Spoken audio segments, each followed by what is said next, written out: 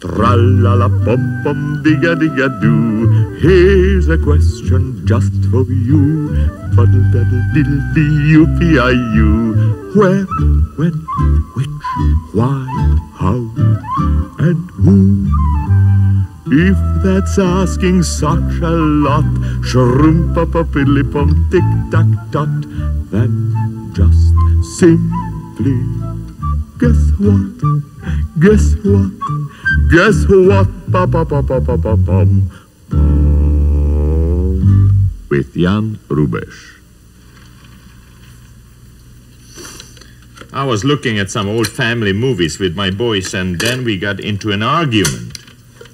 You know what an argument is, don't you? It's sort of a fight. The only thing you don't fight with fists, you fight with words. And it can be a very friendly fight, it can be quite unfriendly because you can hurt somebody with words too. What we were fighting, what we were arguing about was that the uh, hand is quicker than the eye. You see, I was telling them something about how moving pictures are made possible because the eye cannot follow everything.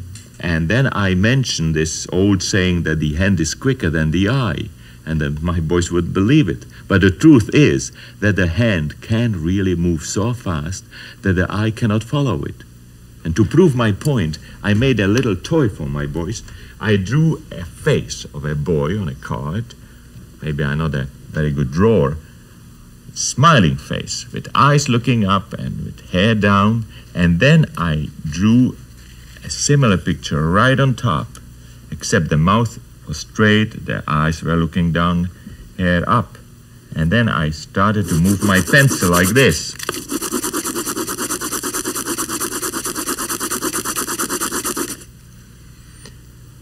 And you see, although there were two pictures, you could see only one picture, one moving picture, because your eye could not follow my movement. See, an argument like this actually started the moving pictures. There were two men in California, and they were very um, fond of horses. They went a lot to races, and they had an argument. Uh, but before I tell you about that argument, why don't I sing you a song about the most famous race in those days, Camptown Race?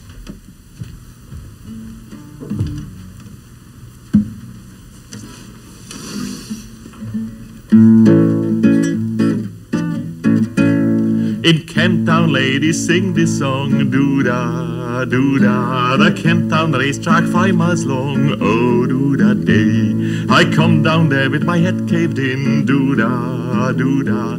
I go back home with a pocket full of tin, oh doo da day. Going to run all night, going to run all day. I'll bet my money on the bottleneck, somebody bet on the bay. Going to run all night, going to run all day. I'll bet my money on a bottleneck, somebody bet on the bay.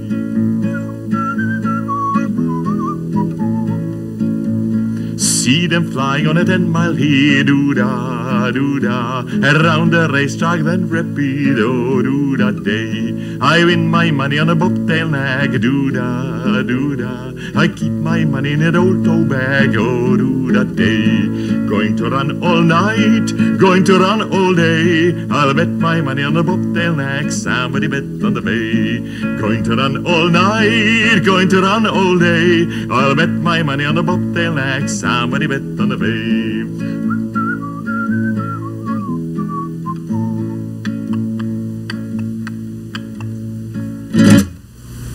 Well, these two guys in California were arguing about horses. And the argument was this. One of them was saying that when the horse runs really fast, that at one point he has all four legs in the air. And the other man said, no. I believe that the horse, when he runs really fast, always has at least one foot on the ground. And they were looking at this horse running and they couldn't settle anything.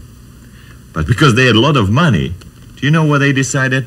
There was a famous photographer in England. His name was Mr. Muybridge. And they decided to bring him all the way from England to California to decide this bet. Well, Mr. Muybridge arrived from England. Well, that's half around the world from England to California. And then when he heard about the argument, he thought that was April Fool's. I mean, what was he going to do? Take a picture of a running horse? One picture? That won't settle any argument, he thought. And then he got interested. He thought, if I could take many pictures of a running horse. And guess what he did? He set up no less than 24 cameras just next to the track where the horse was going to run. And then the opening of the camera was connected with a rubber band. And when the horse ran by, the horse tripped the rubber band and the camera took a picture. Then the next camera took a picture, and the next, and the next, and the next, and the next. And finally, Mr. Muybridge wound up with 24 pictures of a running horse.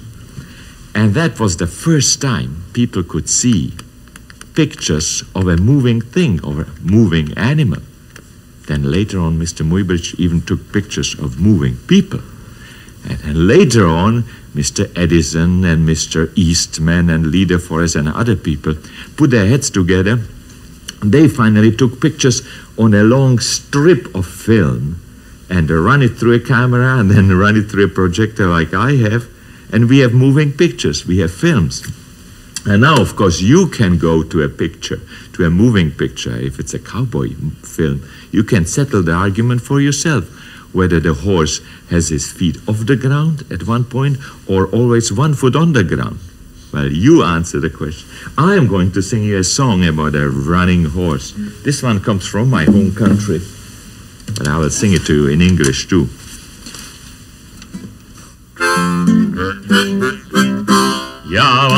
Koně, vraný koně, to jsou koně mý. Já mám koně, vraný koně, to jsou koně mý. Když já jim dám oni skáčou ovsa. Já mám koně, vraný koně, to jsou koně mý. Run my pony, dapper pony, take me far away.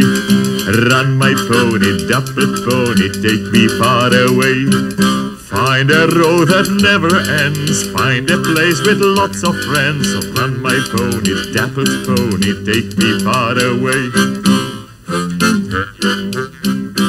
Run my pony, dapper pony, take me far away. Run my pony, dapper pony, take me far away. Find a road that never ends, find a place with lots of friends. Run my pony, dapper pony, take me far away.